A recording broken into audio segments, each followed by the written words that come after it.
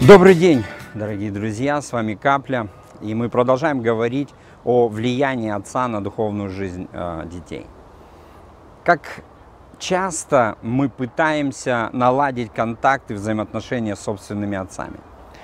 Э, и насколько у нас это получается, настолько мы будем понимать и видеть, что наши взаимоотношения, наши контакты с Богом э, будут реальными. Если нереально общение с родным отцом, то мне кажется, что реальность общения с Богом, она тоже будет где-то э, призрачной.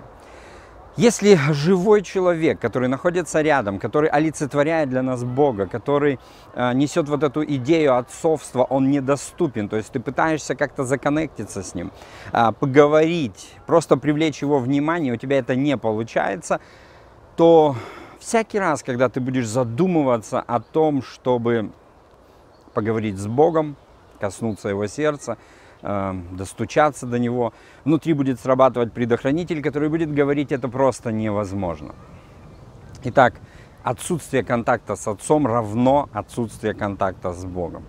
Если мы хотим, чтобы наши дети, они приходили к Богу в молитве, они полагали на Него свои э, нужды, отдавали Ему свои проблемы, и эти проблемы решались сверхъестественным образом, нам необходимо быть хорошими родителями.